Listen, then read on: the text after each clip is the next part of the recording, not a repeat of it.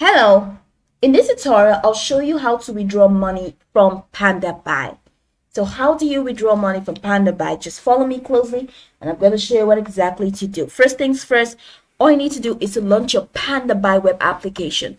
Now, if you do not have an account on PandaBuy, launch any browser of your choice and at the top corner you're going to find the search bar go ahead and type pandabuy.com. That's going to open up this fantastic website website where you'll find an on-screen prompt to sign up. So click on sign up. It's pretty much easier if you sign up using Google because the process is pretty much automatic. Logging in is going to take you right into this fantastic homepage where you can navigate through a lot of options to have a great PandaBuy experience. Now that we're here, let's hop into. That's pretty much simple. How to withdraw money from PandaBuy.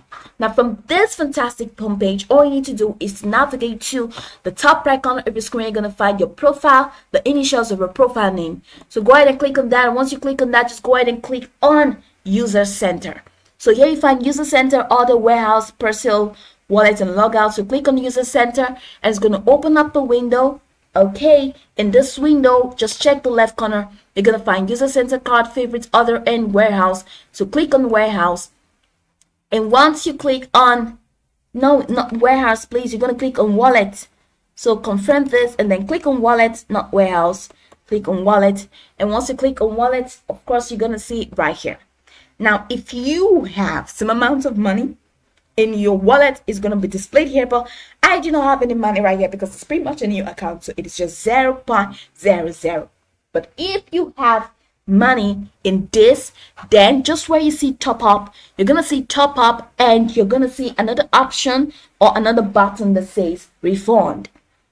So instead of just top up you're gonna see top up and refund.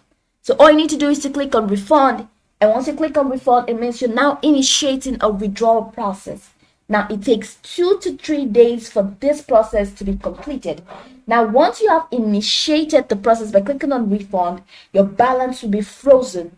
And then once the process has been completed, then it will be withdrawn to any account of your choice so that's pretty much it. So the money is going to be withdrawn to any account or any payment method of your choice. So that's pretty much how you can withdraw money from PandaBuy. You can go over this tutorial from top to bottom to get a